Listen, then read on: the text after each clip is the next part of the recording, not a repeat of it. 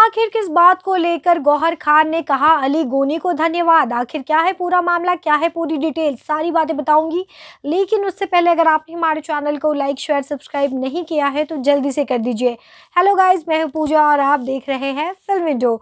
तो बात करेंगे बिग बॉस के बारे में। तो बिग बॉस में पवित्रा अली से कहती हैं, आप डबल ढोल की है। मुझे लगता है कि आप डबल ढोल की है।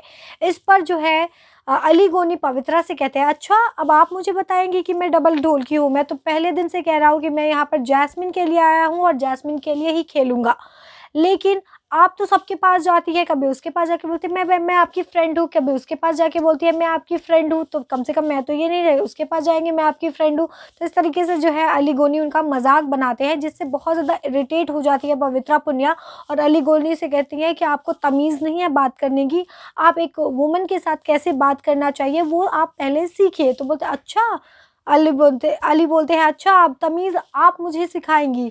आप तो औरत होकर एक औरत की इज़्ज़त नहीं की तो वो पूछती है किस बारे में। तो बोलते, मैं गौहर खान की बात कर रहा हूँ। जब आपने नेशनल टीवी पर उनको गाली दिया था, तब तो आपको ये इज़्ज़त का ख्याल नहीं आया था। आपको तो इतना साबिल नहीं लगा कि वो सीनियर है, बिग बॉस विनर रह चुकी है और ने, आपने उसको नेशनल टीवी पर गाली दी तो इस पर पवित्रा उनसे बोलती है कि हाँ तो मैंने पीठ पीछे उनको गाली नहीं दी, मैंने जो गाली दी वो मुँह पर मैंने बोला है।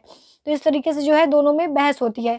अब इसी को लेकर जो है बिग बॉस की एक ऑफिशियल कलर्स के एक ऑफिशियल टीम ने ट्वीट किया है। एट द रेट अलीगोनी ने कहा, पवित्रा पुनिया दे चुकी है गौर खान को गाली। अब इसको इस पर रिप्लाई करते हुए गौर खान कहती है, finally finally thank you अलीगोनी, at least someone spoke up.